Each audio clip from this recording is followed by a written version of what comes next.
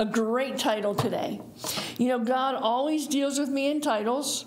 I'll sit at my desk and I won't get a Bible study, I won't get a message, I won't even hardly ever get a scripture before I get a title. And I was sitting at my desk and a children's song came into my spirit. Old MacDonald had a farm. E-I-E-I, old MacDonald had a farm. I'm, I'm hearing that in my spirit. And then I started to hear it a little clearer, and I heard Obadiah. Obadiah. And so I, I turned to Obadiah, but it wasn't the book. There, there are about 10 different Obadiahs listed in the Old Testament, different ones, different Obadiahs. And when I went to 1 Kings 18, I knew I was in the right place. My spirit lit up. Obadiah, and I read the story of Obadiah, and here's the title Obadiah had alarm. Obadiah had alarm. This is a, a, a great message from the Lord. And, and he gives me the titles to remember the word. I may not remember every detail about it, but I remember Obadiah had alarm. He was alarmed by something in his life, and yet he persevered through the alarm. See, I'll remember that forever. I'll remember last week's study. Uh, don't be a microwave chocolate chip. I'll remember things like Tobiah or not Tobiah. I'll, rec- I'll know those scriptures. Always works in titles. So today's study is called Obadiah Had Alarm, and it's in 1 Kings 18. It had been three and a half years. This is the context, the setting. Three and a half years since it had rained in Israel. This was a disaster of epic proportions. This was not a mere matter of watering, not being able to water your lawn or make iced tea or fire up the hot tub or take a hot bath. This had nothing to do with the luxury of water. It was an issue of survival, of mere survival. There had been no rain for three and a half years. Crops, crops had long since died, and now both man and all the animals were in danger of dying themselves. And still the drought continued. This was a horrific moment in Israel's history.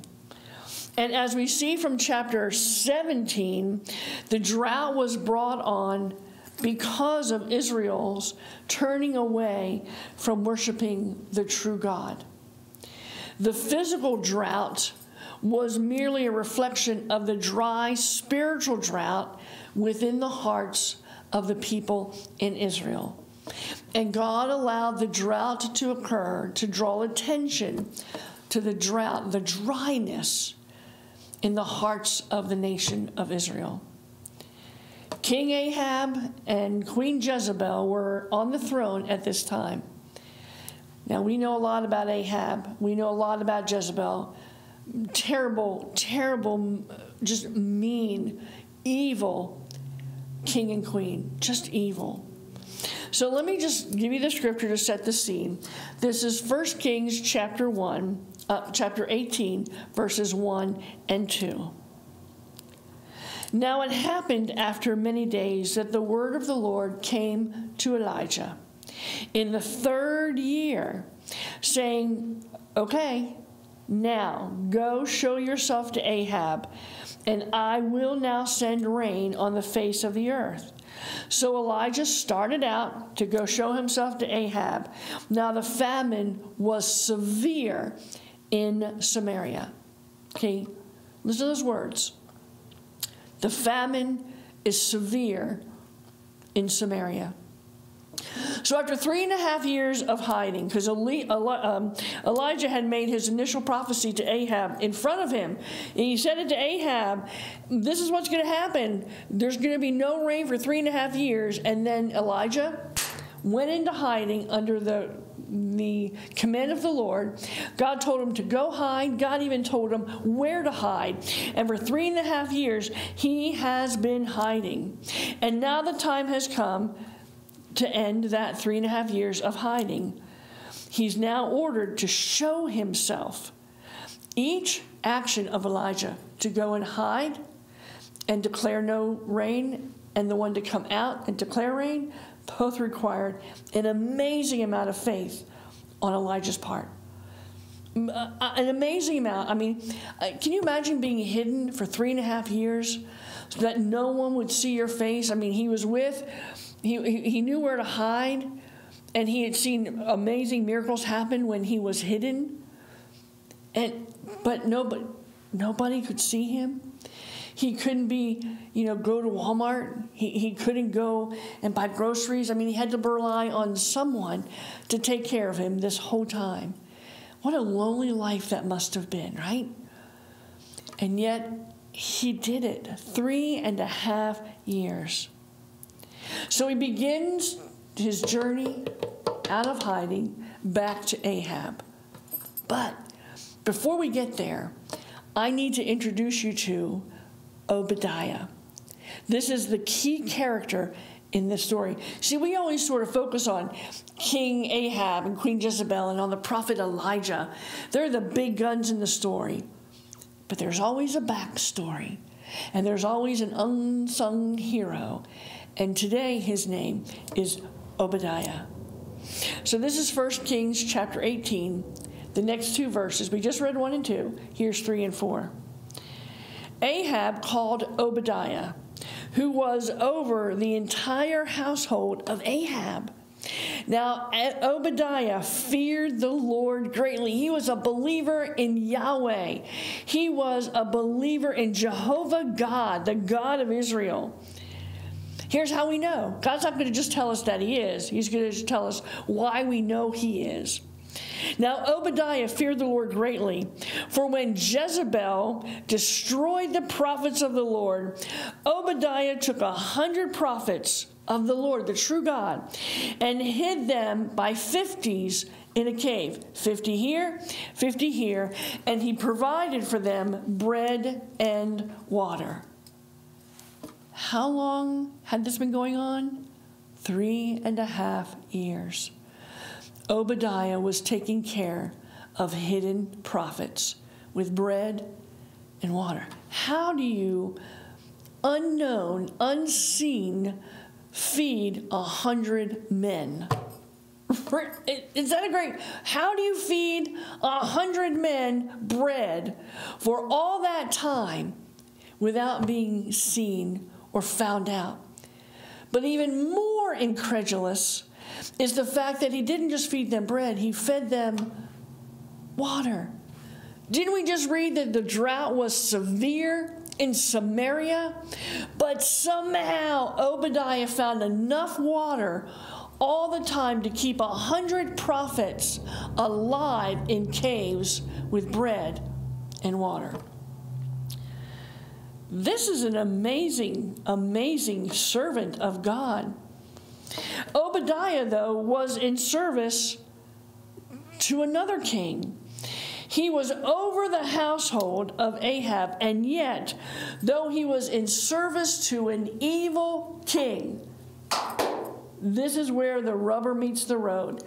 He was in service to an earthly, worldly, evil boss, a non believing boss you are probably in a place in your life, if you work, you're in an office or a factory, you're somewhere with an unbelieving boss and unbelievers all around you. You may be the only Christian in the lot, you may be the only believer in the group.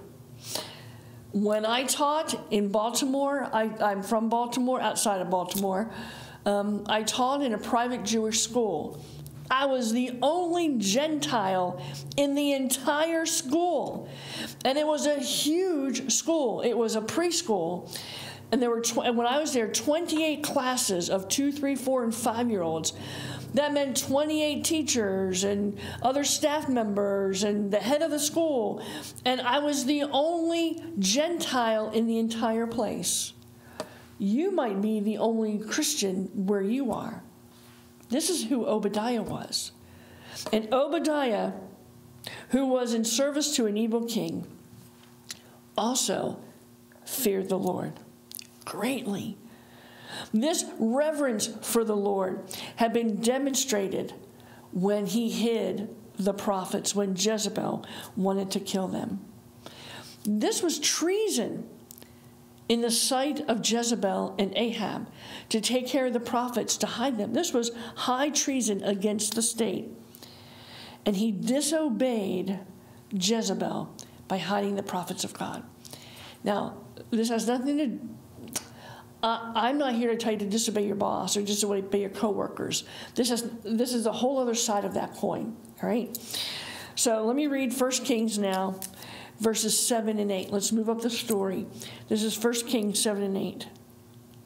Now Obadiah was on his way to do what?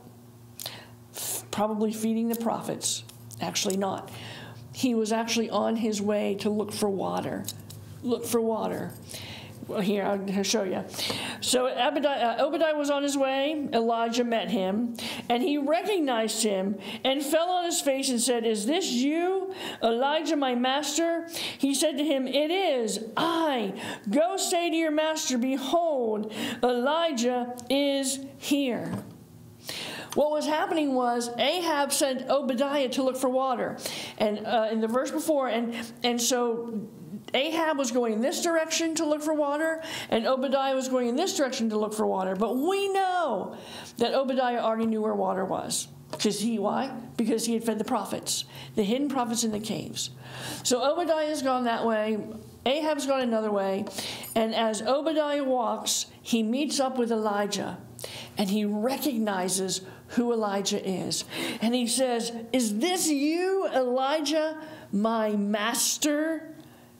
And he said to him, Yeah, it's me. I'm back. Yay, I'm back. Woohoo, I'm back. Go say to your master, Ahab, Behold, Elijah is here. Elijah had just come from a special time of special preparation in solitude with the Lord. He was staying with the widow. He had seen the widow's son raised from the dead. And when the Lord commanded him to go and speak to the king, he was ready to go. If you eh, imagine being in the presence of a resurrection that you saw by your prayer and the power of God, someone coming alive from the dead, I mean, that would empower you and say, Yes, send me to my enemies, send me to King Ahab, send me, Lord. And he was fired up inside because he had witnessed this great miracle of God. But Obadiah, what is Obadiah going to do? It, was different with Obadiah. He was the servant of an unbelieving king who was in the huge throes and midst of idolatry. And though he endured in his faith, Obadiah did, he had likely been without fellowship or encouragement of other believers. Maybe there were a handful in the kingdom, that Obadiah could whisper, I love God. I love God too.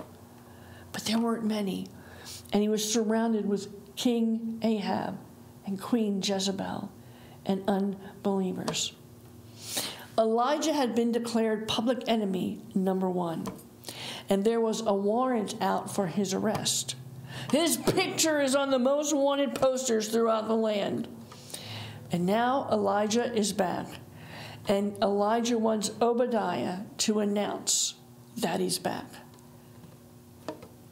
Can you imagine how that must have quaked Obadiah? Knowing that he served a very volatile king and a queen who hated Elijah, hated him with an evil, malevolent hate. And Elijah says to Obadiah, Do me a favor, will you just go tell the king that, that I'm back? It would enrage the king. And Obadiah was fearful for his own life, fearful of what might come if he did that. But Elijah recognizes this. And in verse 15 of chapter 18 of 1 Kings, hear Elijah speaking into Obadiah. Elijah says, As the Lord of hosts live, Jehovah Sabaoth, the Lord of hosts, before whom I stand, I will surely present myself to him today. What Elijah is saying is, You can count on me to not leave you alone. You can count on me to be there when, when Ahab comes looking. I will show myself to him today. The emphasis here is you can count on me because I'm counting on the Lord. This is the great promise. Elijah has been with the Lord. He's been empowered by God, and he says, As the Lord of hosts live. Who are the hosts? Well, the Bible talks about the starry hosts being the entire, the stellar, the stars, the moon, the sun. But the angels are always are also called the hosts of heaven. And so what Elijah says is, I have been in fellowship with the God of it all, the God of everything. I have been ministered to by that very God. I have stood in his presence before whom I stand. And Ahab says, I surely will do what he told me to do, and I guarantee you, Obadiah will be fine. See, Obadiah had alarm. He was fearful for his own life. Obadiah had alarm. But guess what happened next? So, verses 16 through 18 of 1 Kings 18. So Obadiah went to meet Ahab and told him, and Ahab went to meet Elijah. Now it sounds so, hmm, hmm, hmm, hmm, hmm. I guarantee you that Ahab did not say, Oh, great, let's go meet in the meadow. Let's just bring some daisies along and a peace offering. No. This picture is much different. And then it happened when Ahab, here's where it changes. Ahab sought Elijah, that Ahab said to him, Is that you, O troubler of Israel? And Elijah answered, I've not troubled Israel. You and your father's house have, in that you have forsaken the commandments of the Lord and have followed the Baals. Now, remember, three and a half years ago, Ahab was told by Elijah, there's going to be a drought in the land because of what's going on in your kingdom. And so, after three and a half years, Elijah comes back. Obadiah has told Ahab, Elijah wants to see you. Elijah's back. Ahab's fired up. Is that you, O troubler of Israel? And here is Elijah's peaceful response. All of this, all of this drought, all of this misery, all of this hurt, it's your fault. It's your fault and your father's fault. It's all on you, Ahab. What do you think Ahab's response was going to be? Certainly not a pleasant one. And you can just see Obadiah over there going, Oh no, oh no, oh no. Don't do it, Elijah. Don't do it, Elijah. Oh, Elijah, don't, no, don't do it. I mean, I can see Obadiah. I can just see him standing off in, in, in a not too far distant uh, place of hiding, like behind a wall or behind a, a curtain, just sort of cowered, waiting for this exchange between Ahab and Elijah. And Elijah comes out firing with like two guns blazing. And he just he doesn't pull any punches. And he comes out and he says, Ahab, I don't trouble Israel. You're the reason why there's all this trouble. You are the reason. It was after this that Elijah challenges the prophets of Baal. Remember this? The story, you have to read it if, if you haven't seen it already or read it or, or don't remember it. So they challenge one another to a fire duel. Now remember, there's drought in the land. There's a severe drought in Samaria. And so everything should be tinder, fire ready. I mean, there's nothing that's that is green in, in regard to fire and lumber and fire starters, and everything is so dry, dry grass, dry everything. And so Elijah confronts the Baals, the, the, the prophets of Baal, and say, start a fire and call down your gods. Call down Baal and, and let's see what he does. Well, they put everything together. Now, they don't like the fire because they're waiting for the fire from Baal to come down.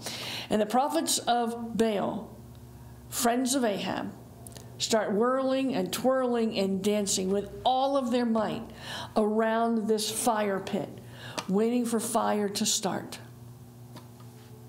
Doesn't start hour after hour after hour after hour.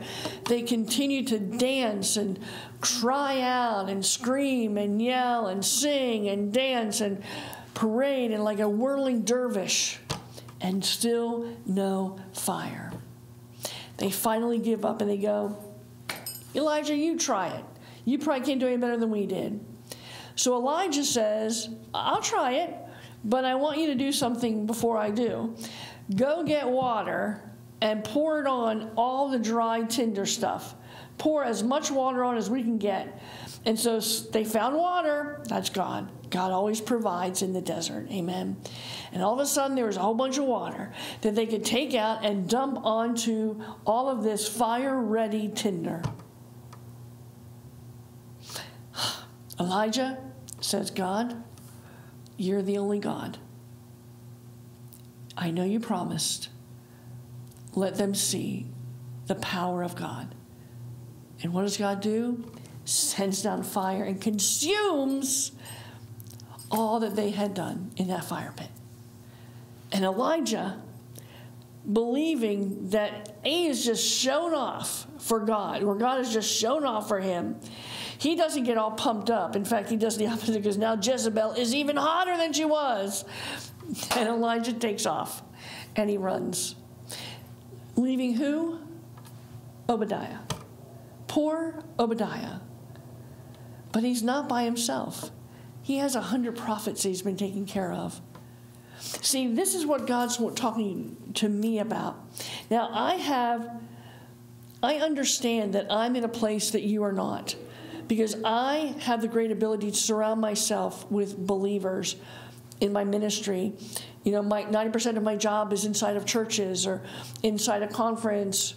Uh, I, I'm I'm sort of surrounded, but I do shop at places that are not spirit filled.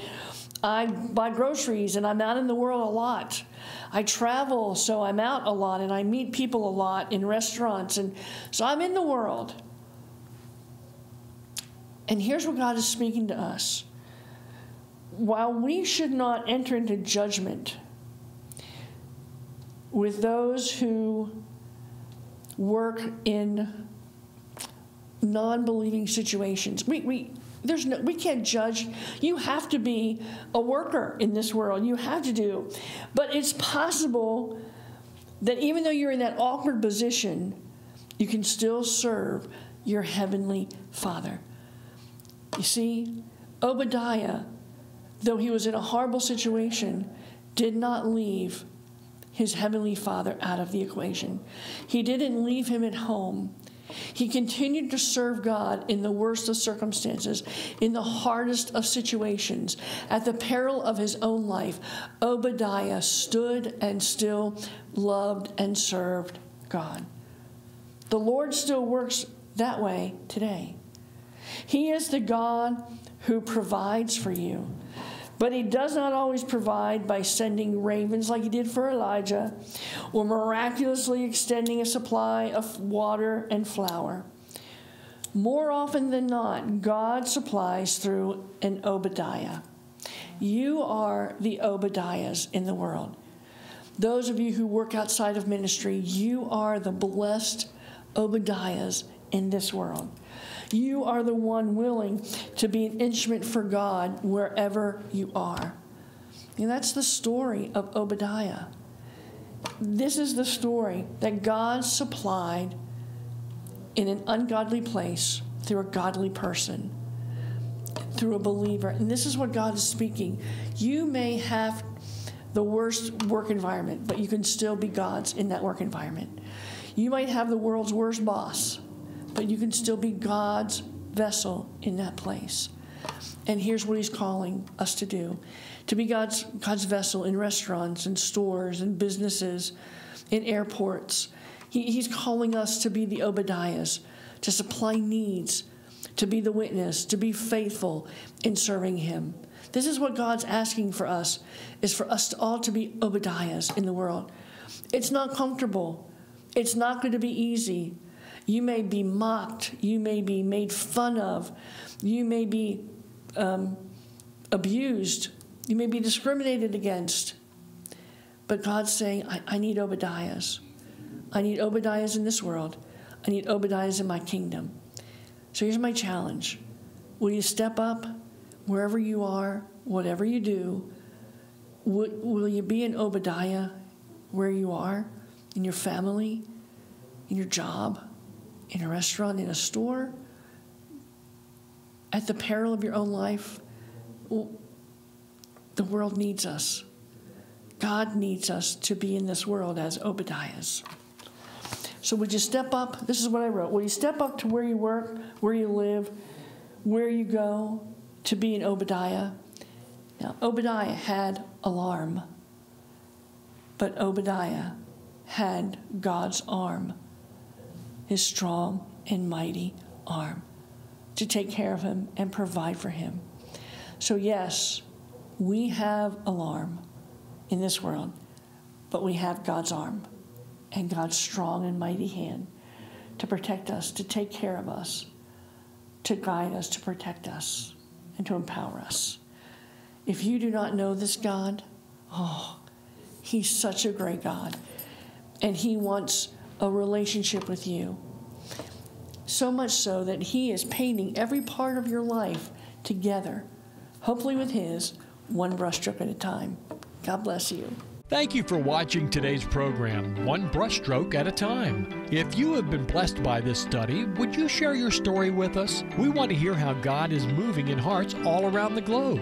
If you have a question, would like more information, or would like to request prayer, please visit our website at brushstrokeministries.com or connect with us on Facebook at Brushstroke Ministries. You may also contact us at Brushstroke Ministries, P.O. Box 2353, Buckhannon, West Virginia 26201.